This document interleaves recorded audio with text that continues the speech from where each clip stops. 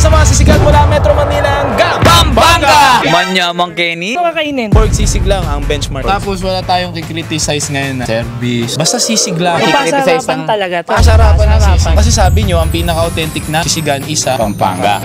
So, puprove natin kung totoo o hindi. So, nandito tayo ngayon sa medyo commonwealth na sisig ni Juan. Category natin is kahit saan. Ay, nakalimutan niyo ako.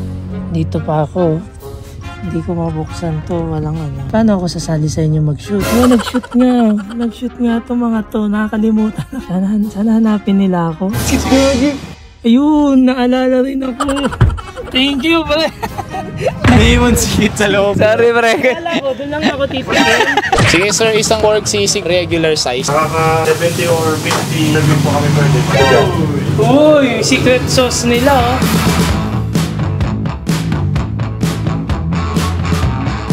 Ating husgan at titimplahan muna ang sisig ni Juan. Masarap kaya ito? Ah, ganun pala. Uy. Uy!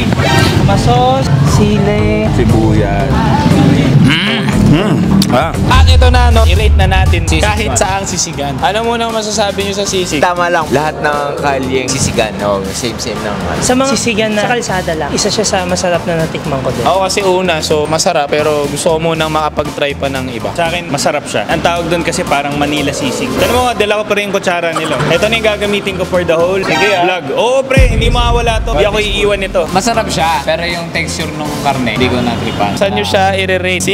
Ako B. Baby. B ako, B. O, majority B.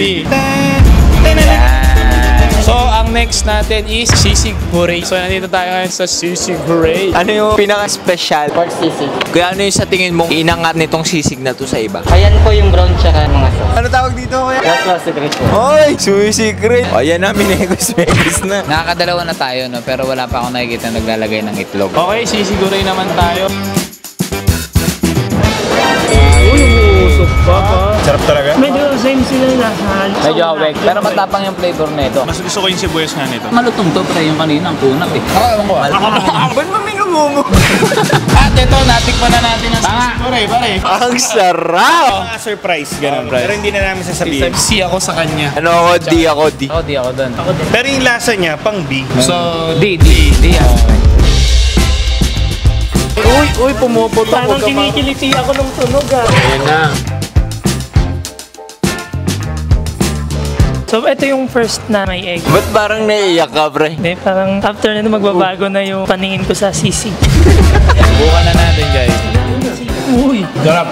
Para sa akin, angat to. Sakto yung texture ng pork, tapos meron ding atay. May chicharon din. Hindi ako nanibago lang ako. Kasi sobrang strong nung unang dalawa. Hindi strong yung mga yung lasa niya. Pero Malalaman. Malalaman. Tapusin niyo yung video. Sa akin, mas less yung lasa niya. Mas gusto ko yung ganun eh. Parang hindi nakakaumay. Akin pare. Porky na porky. Dito lasa mo talaga yung pork. parang na-high blood ako.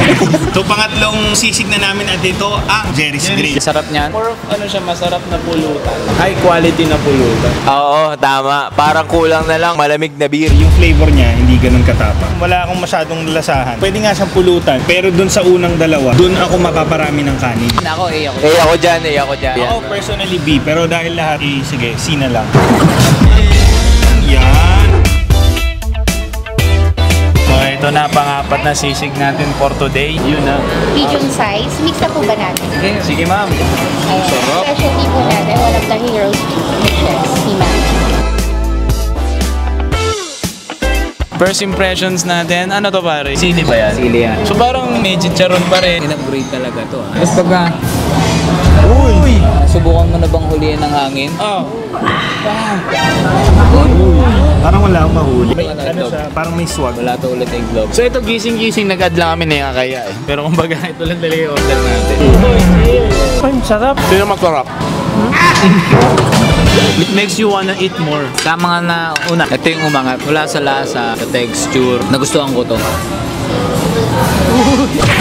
Huling ko. Medyo mas maasim to. Lahat all in all, eh, nandun talaga. Wala pang egg, no? Parang sarap kung may egg. Nakita mo yung presentation. Alam mo, talagang tama lang sa presyo. Okay, oh. So, eto na. Mana, ano masasabi niyo? Luxurious! Ito yung epitome ng crispy sisig. May nagaya sa akin. Dalin mo ako sa crispy sisig. Dito ko dadalhin, pare. Consistency niyan. Kumpleto. Thumbs up yan, thumbs up. Lahat malutong eh. Tsaka yung flavor niya matapang. Tapos doon ako nakatikim ng medyo may asim siyang palo sa huli.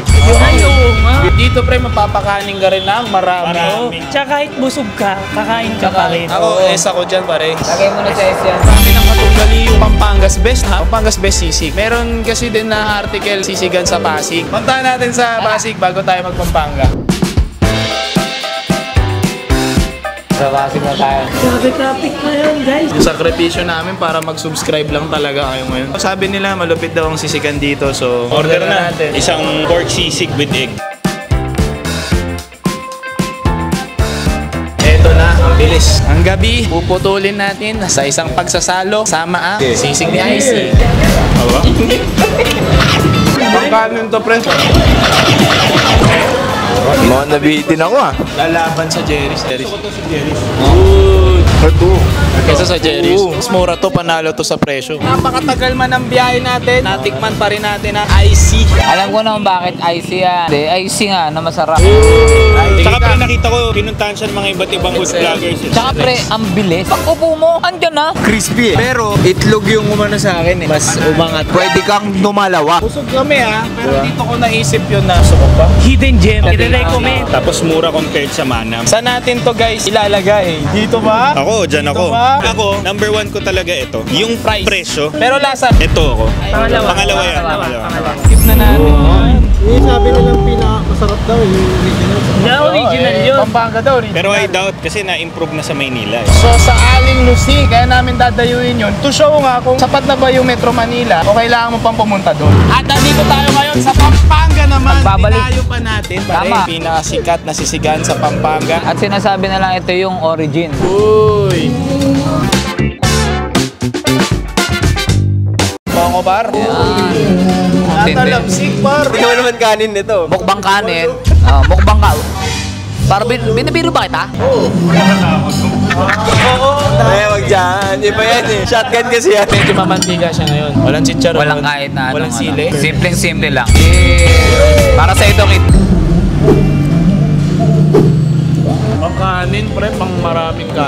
ko na kung bakit nga, pre. Dapat siyang tawaging original talaga. Unang dampi pa lang, pre. Ramdam ko na yung Malapit. iba yung lasa niya. Malambot, na may halong. May konting malutong. Yung asim niya, tamang-tama. Yung initial, tsaka yung aftertaste niya. Ang sarap. Parang meron siyang feeling na natural siya. Ang sarap. Hindi, ang ano dito, natikman natin from street sisig, meat, tapos original. Saka iba yung lasa ng inihaw. Sa prenito lang. Yun nga, para sa akin, iba-iba sila ng classification pero syempre taste pa rin yung i-rate natin. So far, bumiyahe tayo ng 73 kilometers. Worth it naman. Ang sarap. 250 lang. Pero punta ka pang Pampanga. Kaya dito, nakakakain na kami. Kung sisig lang ang usapan, masarap. Pwedeng dayuhin, pwede rin puntahan kapag napadaan. Pwede siya dito. Ito pangatlo. Nung pagkatapos ko siyang kainin, parang napunta siya sa A. Kagaya nung sinabi ni Adrian kanina, nung tumatagal, ah, may umay siya. Naghanap ako ng soft drinks talaga. May umay siya kasi nga, puro sa taba. Tsaka mamantika. Ang gamit daw nila yung dibdib, maskara, tsaka tenga. Madidistinguish mo na original siya kasi nga kakaiba yung timpla. Tama naman na nasa S, pero pangalawa lang. Hindi kasi may mga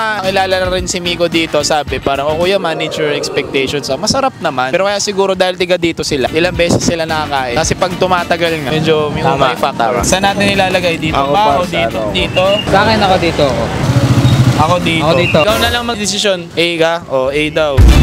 So, mas masarap siya. Top 1 pa rin si Manam. And second si IC. Wow. Ito lamang ay aming opinion, kaya huwag kayong magagal. Nandito tayo ngayon sa Milas Tokwat Aboy sa SM Clark. Ito, medyo... Pare, anong mga sangkap nito? Kuya, sili. Sibuyas. Huling sisig sa vlog last sisig. Cheers!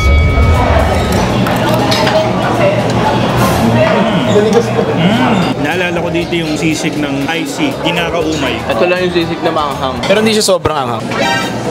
Makunat eh. Chicharon ba ito?